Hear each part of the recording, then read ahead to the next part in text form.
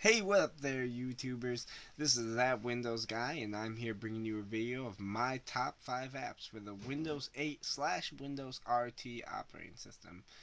Now, these apps should run on pretty much any Windows 8 device besides the Windows 8 phone, so they should be good for you if you're running Windows 8.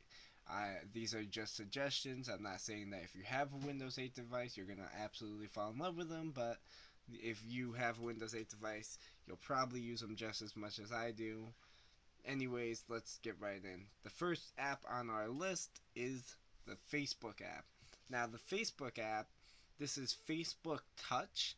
There's a ton of Facebook apps out there. Some of them you pay like $2 for and they're crap. Some of them you pay a dollar for. I've hunted down the best. I'm not sure if this is the official Facebook app, but it's a gosh darn good one.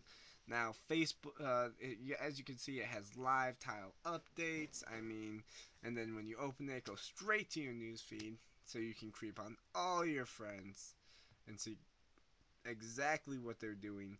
Next, th next thing, I mean, like you can update your status, upload a photo, and I don't even know what check-in does because I'm not a Facebook person. But it also has who's online right there. I mean one bad thing about it is that when you do it like this, you get rid of your friends list, but you know, that's that's okay. I mean, it doesn't doesn't affect the app that much. You have your toolbar up there. If you get, um, you have your home button there, and then you can remove the ads by buying the official app. Okay, so next thing is the uh, IM Plus app, and I'm seeing it's loading. Okay. Anyways, the IM Plus app is an app that I use. As you can see, you can use all these accounts on it, but the main thing, I mean, like, I have all my accounts on here that I want. I mean, you can use Facebook, pretty much any social website you can log in here. Usually when you open it it loads to this screen but I had it open earlier so it loaded that screen.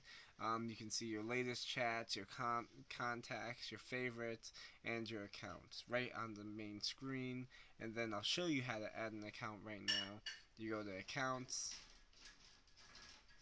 Accounts. Come on. There it goes.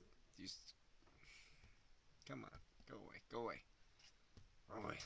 Gosh. You pull that down, you add, and then it gives you a list of accounts that you can add. It does have a live tile update, which is really nice. An app is never complete without a live tile update. So, the next one on my list, MetroTube. Now, MetroTube is really good. I love it. Really good app once again had it open before so that was this is where it starts. Okay so as you can see there's your subscriptions. It has all these uh, popular then categories it has these little options it has that famous Windows 8 side to side um, uh, scrolling feature which I always find pretty cool. Going against the grain there Windows that's what I like. Anyways, you can click on subscriptions, see all your subscription channels there, and you can click, uh, it shows you all the latest videos right here, but if you want to just zero in on, let's say I want to know what Machinima is up to, it shows you all the latest videos of Machinima. Machinima. Anyways, okay, so the next one, right before the best one, is the CNN app. Now, CNN is a great news service. Um, they usually are pretty honest, and the CNN app lets you see all the latest news, top stories, without even having to really try. I mean, I'm not a news guy, but man, like this app makes you want to be a news person. And if your friends are talking about, oh, what uh, that latest story blah blah blah. You, you don't have to feel like that one tool that doesn't know what you're talking about. Right here, really good app.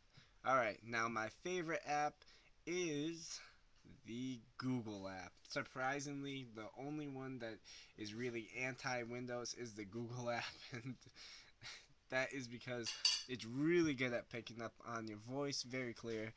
And um, as you can see, it's getting exactly what I'm saying. So that's always good. Anyways, um, it also has this little application feature, lets you go through all these different things. I mean, it's a really nice app. Has a lot in it. It's it, it's by far the best app I think on the Windows Surface RT.